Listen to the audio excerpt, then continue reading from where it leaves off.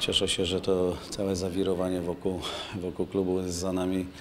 Mam nadzieję, że teraz spokojnie już będziemy mogli tylko merytorycznie się skupić na pracy i przygotowaniu do, do tych kluczowych spotkań przed playoffami.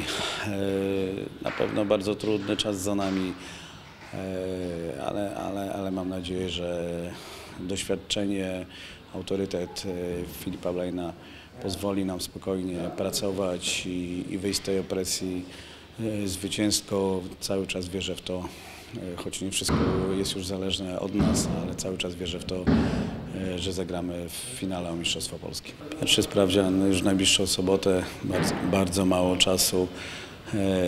Ale myślę, że